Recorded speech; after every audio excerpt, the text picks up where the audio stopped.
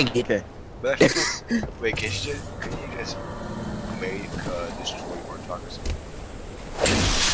No! Oh, fuck. Revenge.